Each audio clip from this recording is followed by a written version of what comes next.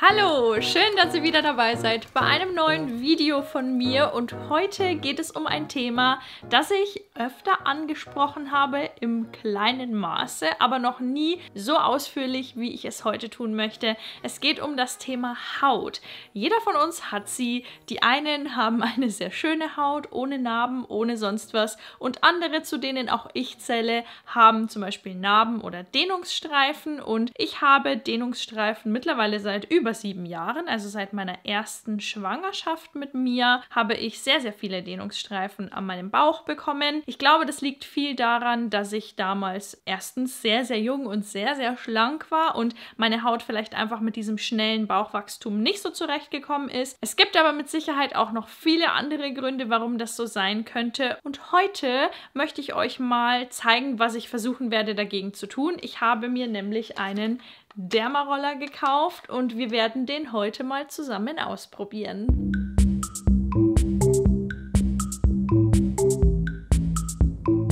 Das Thema Haut ist eines, das ich persönlich für mich für sehr, sehr wichtig halte. Die Haut ist das größte Organ, das wir haben, das größte Organ eines Körpers. Und für mich war meine Haut schon immer unfassbar wichtig. Also ich bin grundsätzlich ein Mensch, der sehr, sehr viel Wert auf Hautpflege legt. Also egal ob im Gesicht, ich äh, gehe zum Beispiel nie geschminkt ins Bett, ich pflege meine Haut sehr gerne, ich mache Peelings, ich war auch schon bei einer Behandlung bei der Kosmetikerin. Also ich mache einfach sehr, sehr sehr gerne viele Dinge für meine Haut. Allerdings war ich bei meinem Körper die letzten Jahre da immer so ein bisschen nachlässig, weil er halt nicht mehr so aussieht wie noch vor zehn Jahren. Also ich bin vor acht Jahren das erste Mal schwanger geworden mit meiner Tochter, die ist jetzt siebeneinhalb.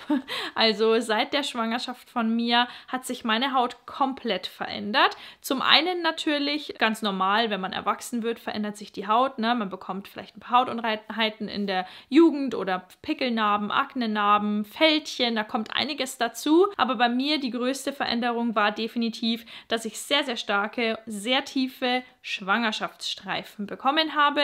Ich habe das auch schon vor einigen Jahren, also als ich mit YouTube angefangen habe, mal hier thematisiert, dass ich niemand bin, der sich dafür schämt, Finde ich auch, sollte man nicht. Das ist was ganz Natürliches, was sehr, sehr viele Frauen, auch Männer haben. Also selbst mein Mann, der David, hat Wachstumsdehnungsstreifen am Rücken. Das ist nichts, was unnatürlich oder hässlich ist. Also ich habe mich nie dafür geschämt. Allerdings bin ich einfach der Meinung, dass man dennoch etwas tun kann, um dem Ganzen vielleicht ein bisschen entgegenzuwirken oder wenn dann die Schwangerschaftsstreifen oder Dehnungsstreifen schon da sind, einfach versuchen kann, Dinge zu machen, damit die Haut sich vielleicht einfach ein bisschen regeneriert, nochmal erholen kann, vielleicht noch mal ein bisschen straffer wird. Und genau an dem Punkt bin ich jetzt. Also ich habe die letzten Jahre, wie ihr mitbekommen habt, immer sehr viel mit meinem Gewicht zu kämpfen gehabt. Also es ging immer auf und ab. Eine zweite Schwangerschaft, Gewicht wieder hoch, dann habe ich abgenommen. Dann kam letztes Jahr eine super stressige Phase in meinem Leben und ich habe einfach noch mal sehr viel an Gewicht zugelegt. Jetzt bin ich aktuell auf einem super Weg. Also ich bin inzwischen bei fast minus 10 Kilo, die ich abgenommen habe.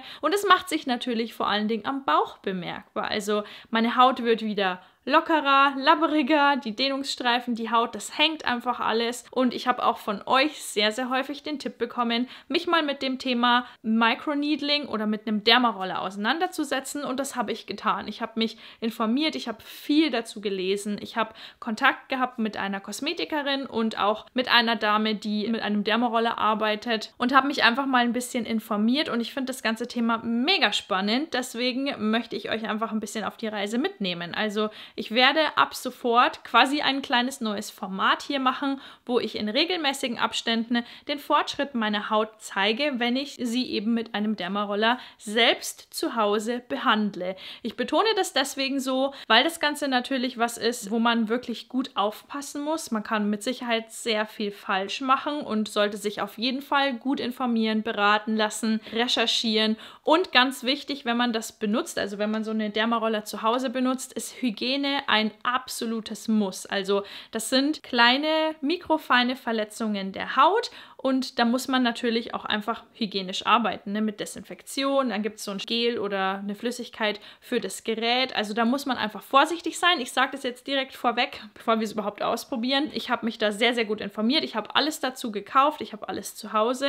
Und ich bin sehr gespannt, was die nächsten Wochen und Monate da mit meiner Haut passieren wird. Bevor ich euch jetzt den aktuellen Ist-Zustand zeige und wir das einmal zusammen ausprobieren, eine kleine Recap meiner letzten, ich weiß nicht wie viele Jahre, Bauch. Denn ich habe euch ein paar Bilder rausgesucht. Das interessiert euch mit Sicherheit, wie mein Bauch ausgesehen hat. Wir fangen einfach mal an. Bevor ich Kinder hatte, war mein Bauch straff, flach, sehr, sehr schön. Ich war sehr durchtrainiert. Ich habe ja Sport- und Fitnesskauffrau gelernt und zu der Zeit auch in dem Beruf gearbeitet. Also bis ich mit mir schwanger geworden bin. Heißt, ich war einfach durchtrainiert. Meine Haut war immer schön. Ich hatte nie irgendwelche Probleme mit Hautunreinheiten oder irgendwelchen Streifen, Dellen, irgendwas. Eine sehr schöne, junge, gesunde Haut hatte ich. Und dann kam meine erste Schwangerschaft und ich war damals tatsächlich der festen Überzeugung, dass ich niemals Dehnungsstreifen bekomme. Bei mir in der Familie hat das keiner so richtig. Also meine Mama hat ganz feine Streifen ganz unten am Bauch, aber die sind kaum sichtbar. Also die hat da nie Probleme gehabt und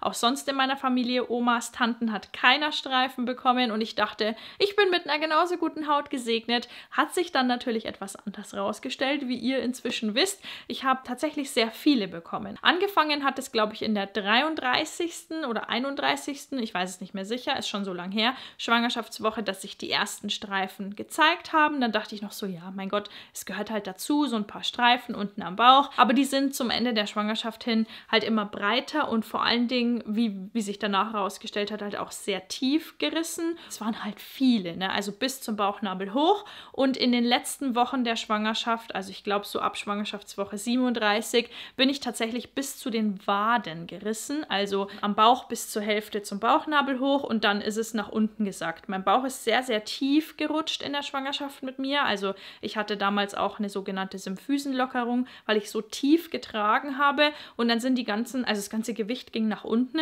und mir sind die Dehnungsstreifen an den Oberschenkelinnenseiten nach unten gelaufen bis zu den den Waden.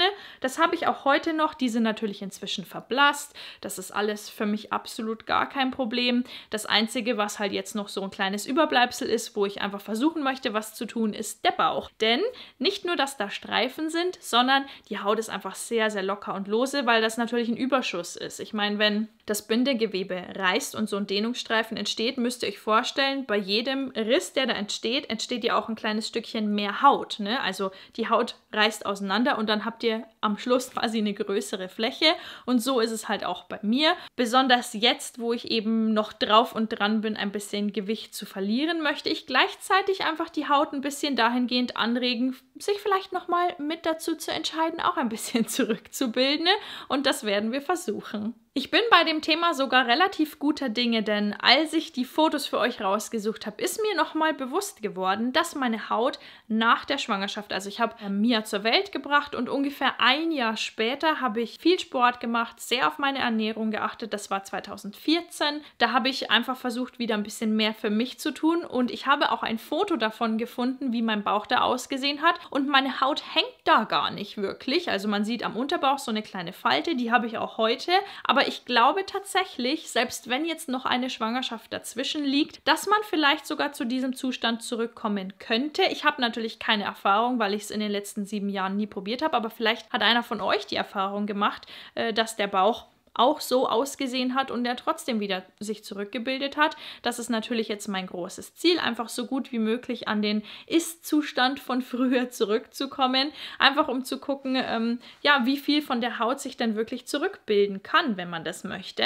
Dafür ist natürlich nicht nur wichtig, dass ich von außen etwas mache, wie ich es euch jetzt gleich zeigen werde, sondern ich werde weiterhin gut auf meine Ernährung achten und natürlich auch viel Sport machen. Es ist ganz wichtig, dass die Muskulatur die Haut mit unterstützt. Das ist was, was super lange braucht. Also Haut oder Sehnen, Bänder, Bindegewebe wieder auf den Normalzustand zurückzuführen, dauert unwahrscheinlich lang. Also es dauert viel länger als ein normaler Muskelaufbau. Aber ich glaube, wenn man einfach regelmäßig dran bleibt und das einfach so in seinem Leben integriert, dass man regelmäßig sich bewegt, dass man von außen was Gutes für die Haut tut und natürlich auch seinem Körper die richtigen Nährstoffe zuführt, ist man damit gut aufgestellt und ich hoffe, dass es funktionieren wird. Jetzt kommen wir mal zu diesem kleinen Zauberding hier. Ich packe das jetzt mal für euch aus und zeige euch das. Ich werde das natürlich nochmal desinfizieren, bevor ich es nachher benutze.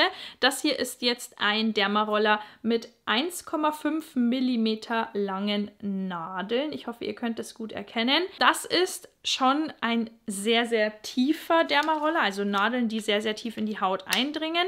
Ich habe mich bewusst dafür entschieden, damit anzufangen, denn, wie ich ja schon erwähnt habe, sind meine Streifen sehr tief, sehr breit und je länger die Nadeln am Dermaroller sind, desto tiefer dringen die natürlich ins Gewebe ein und heilen dann von innen heraus die Haut wieder. Durch diese kleine Verletzung der Haut wird die Durchblutung der Haut natürlich angeregt und der Zellstoffwechsel wird angeregt und einfach die Haut quasi von innen nach außen hin neu aufgebaut. So ist die Theorie. Ob es funktioniert, weiß ich selber noch nicht, weil ich es nicht ausprobiert habe, aber das ist das, was ich jetzt in Erfahrung bringen konnte und es klingt auf jeden Fall sehr interessant und sehr plausibel, denn das sind natürlich Verletzungen, also diese Dehnungsstreifen sind Verletzungen der Hautschichten und wenn man quasi, irgendwie ist es ein bisschen komisch, mit kleinen Verletzungen die Haut dazu bringt, sich selbst nochmal neu aufzubauen, kann es natürlich sein, dass diese Dehnungsstreifen zumindest leichter werden und das ist ja das Ziel. Dann ist es natürlich so, wenn man jetzt hier zum Beispiel wie ich diesen 1,5 mm Dermaroller hat,